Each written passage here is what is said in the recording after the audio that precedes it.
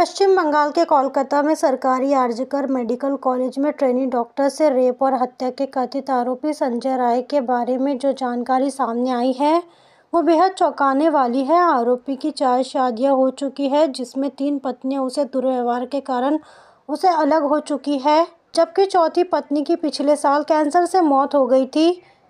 सूत्रों की रिपोर्ट के मुताबिक आरोपी संजय के पड़ोसियों ने बताया कि रोज रात को देर से वो घर आता था अधिकतर नशे में रहता था, नशे और दुर्व्यवहार के कारण उसकी पत्नियों ने भी उसे छोड़ दिया। आरोपी संजय के खिलाफ वीएनएस की धारा चौसठ, बलात्कार और 103 हत्या जैसी गंभीर धाराओं में एफआईआर दर्ज किया गया है। आरोपी को गिरफ़्तार करने के बाद अदालत में पेश किया गया, जिसके बाद उसे तेईस अगस्त तक पुलिस हिरासत में भेज दिया गया है। घटना को गंभीरता से लेते हुए पश्चिम बंगाल की मुख्यमंत्री ममता बनर्जी ने कहा कि उनकी सरकार आरोपियों के लिए मौत की सजा की मांग करेंगी। उन्होंने अधिकारियों से यह सुनिश्चित करने को कहा है कि मामले की सुनवाई फास्ट ट्रैक कोर्ट में की जाए।